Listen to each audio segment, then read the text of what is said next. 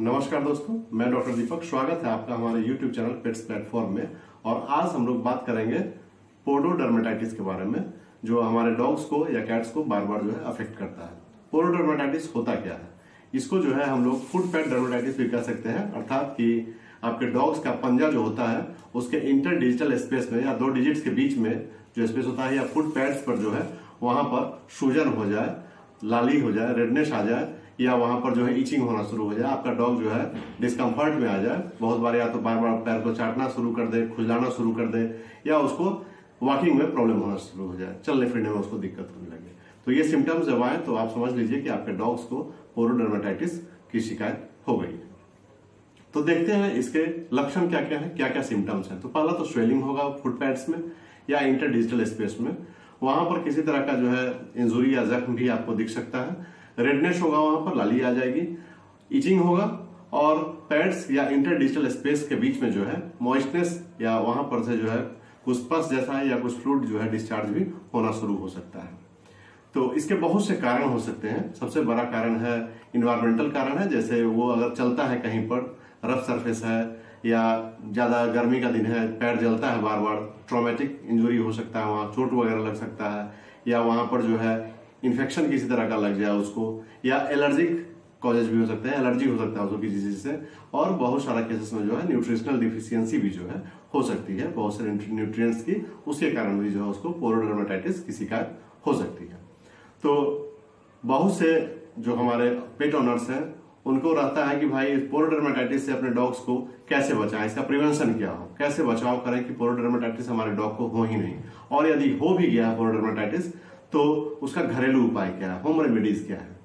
तो आइए सबसे पहले देखते हैं कि उसका प्रिवेंशन क्या है। कैसे बचाव कर सकते हैं पोरोडर्मेटाइटिस से अपने डॉग्स का?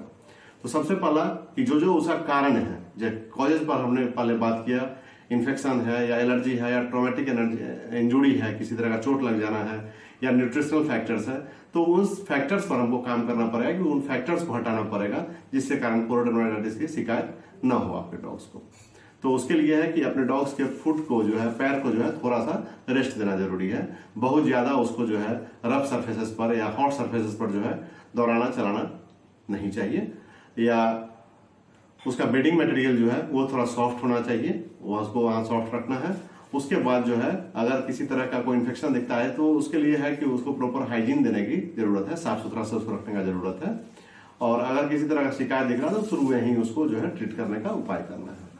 तो सबसे पहले इसमें हम लोग क्या कर सकते हैं? तो पहला जो है, जो मैंने पहले ही बताया कि न्यूट्रिशनल कारण हो सकते हैं न्यूट्रिशनल कॉजेज तो उसके लिए जो है प्रॉपर बैलेंस डाइट देने की ज़रूरत है आपके डॉग्स को। इसके लिए जो ओमेगा थ्री फैटी एसिड्स है, या कुछ इसेंशियल ऑयल्स भी हो सकते हैं, जिनकी कमी के कारण या डिफिशियंसी के कारण आपके डॉग्स को प्रोडोडर्मेटाइटिस की शिकायत हो रही हो। तो उसके लिए जो फ़िश ऑयल्स है, या ओमेगा थ्री फैटी एसिड्स में जो रिच फ़ूड आते हैं, वो अपने डॉग्स को खिला सकते हैं, और उसके अलावा जो है बैलेंस डाइट देना उनको ज़रूरी है। फिर दूसरा है कि अपने डॉग्स के फुट पैड को जो है साफ़ सुथरा रखें, उसको वेट क्लॉथ से या कुछ एंटीसेप्टिक्स अगर आते हैं तो उनसे जो है उनको साफ़ कर सकते हैं, रात में से और वहाँ पर किसी तरह का मॉइस्चरनेस है तो उसको ड्राई रखना सबसे पहले ज़रूरी है कि वहाँ किसी तरह का मॉइस्चर या वेटनेस जो है नहीं रहे, क्योंकि इंटर डिजिटल स्पेस में जो है, जहाँ भी नहाने के बाद या भींगा जगह पर अगर आपका डॉग चलता है, और ये इंटर डिजिटल स्पेस में अगर मॉइस्टनेस रहेगा या वेटनेस रहेगा, भींगा हुआ रहेगा बार बार तो वहाँ पर जो है फंगल इन्फेक्शन होने का डर रहेगा, और दूसरे इन्फेक्शन भी उसके कारण सेकेंडरी बैक्टीरियल इन्फेक्शन भी जो है, हो सकते हैं आपके डॉग्स को। तो उसके फ़ूड पैड्स को जो है, बिल्कुल साफ़ और सूखा रखने की ज़रूरत है। तो अगर नहाते हैं तो उसके बाद जो है उसको पूरा प्रॉपर जो है इंटर डिजिटल स्पेस को जो है कॉटन से या कपड़े की मदद से जो है, या ड्राई एयर से ब्लोअर से उसको सुखा लेने की ज़रूरत है। फिर उसके पैरों पर जो है आप एलोवेरा जेल लगा सकते हैं। वहाँ जहाँ फुट पैड्स हैं उसके, और इंटरडिजिटल स्पेस में एलोवेरा जेल लगा सकते हैं। और या अगर एलोवेरा जेल नहीं है तो कोकोनट ऑयल भी जो है उसको लगाया जा सकता है रात में सोने के समय, और उसके ऊपर जो है उसको सॉक्स वगैरह भी दिए जा सकते हैं ताकि कोकोनट ऑयल अपने जगह पर रहे और वहाँ पर अपना काम कर सके और प्रभाव दिखा सके। उसके बाद जो है अगर उसके पोरोडर्माटाइटिस की हल्की शिकायत है शुरुआती स्टेज में तो वहाँ पर बैंडेज वगैरह भी जो उसके पैर पर कर सकते हैं ताकि उसको बार बार जो है और इंजुरी जो है उसमें नहीं लगे या कोई इन्फेक्शन उसको दूसरा जो है नहीं लगे। फिर उसका जो टाइमिंग है रफ सरफेस पर जाने का, उसको जो है घटाने की ज़रूरत होगी। और उसके बाद एक बहुत कारगर उपाय है इसमें, जो आप अपना सकते हैं। अगर आपका कोकोनट ऑयल से या एलोवेरा जेल से अगर यू, ठीक नहीं हो पा रहा है या अच्छा नहीं हो पा रहा है तो उपाय कर सकते हैं कि बाज़ार से जो है इप्सम साल्ट ला सकते हैं। और गर्म पानी का एक बेसिन ले सकते हैं। एक बेसिन उसमें गर्म पानी डाल के और थोड़ा सा इप्सम साल्ट उसमें डाल करके जो है, उसके अपने डॉग्स को जो है, उसके फूड्स को जो है चारों पैर को उसमें डुबा करके 10 से 15 मिनट रख सकते हैं, दिन में एक बार कर सकते हैं। और ऐसा करने से भी आपके डॉग्स का जो है पोरोडर्माटाइटिस से जो शिकायत होगा, वो दूर होगा। अब बात आती है कि कितने दिनों तक इस तरह का काम करना है। तो लगभग दो से तीन सप्ताह में जो है आपको कुछ ना कुछ इफ़ेक्ट दिखने लगेगा। लेकिन अगर क्रॉनिक केस है तो उसमें जो है ये महीनों तक का समय ले सकता है।